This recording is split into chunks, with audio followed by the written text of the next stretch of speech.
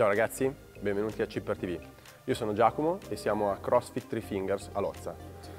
Oggi abbiamo un WOD che è composto da costruire tre ripetizioni pesanti di Hang Squat Snatch con le tre posizioni di catch, quindi Power, Deep Power e Hang Squat Snatch.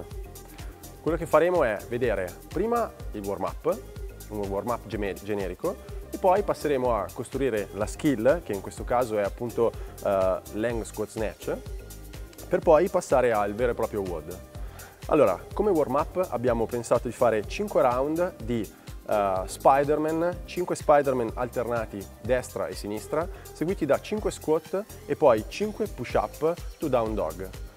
Questo ci serve per riscaldare la parte superiore del corpo, muovere le spalle e prepararci quindi per fare poi la, lo squat, lo snatch.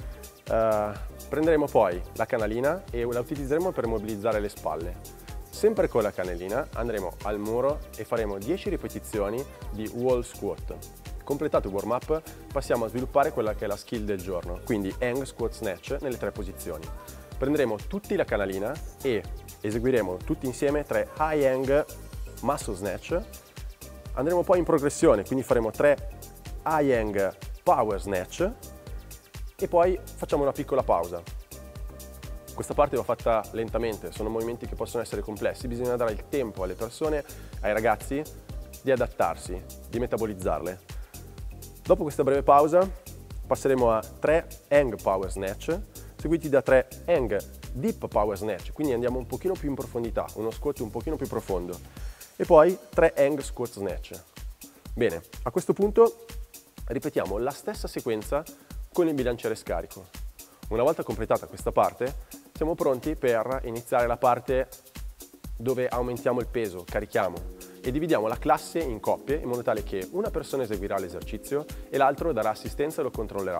A questo punto dividiamo la classe in coppie e avremo una persona che lavora e questo ci permetterà di poter dare una maggiore assistenza e controllare meglio l'esecuzione dei movimenti.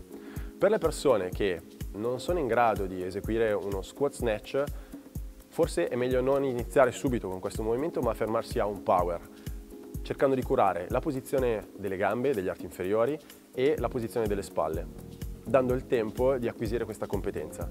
Completata questa parte passiamo al WOD. Il WOD è un WOD abbastanza impegnativo.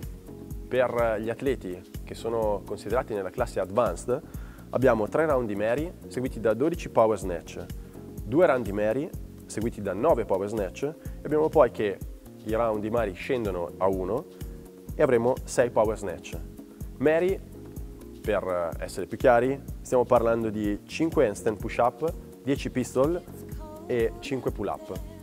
Chi non se la sente di affrontare Mary, perché Mary si sa è una ragazza difficile, abbiamo una versione scalata, quindi 3 round di Cindy, 12 power snatch, 2 round di Cindy, 9 power snatch e poi un round di Cindy seguito da 6 power snatch. Per renderla ancora un po' più semplice possiamo scalare ulteriormente e avremo 3 round di Cindy seguiti da 12 power snatch, 2 Cindy, 9 power snatch, un round di Cindy e 6 power snatch. Anche qui Cindy stiamo parlando di 5 pull up, 10 push up, 15 squat.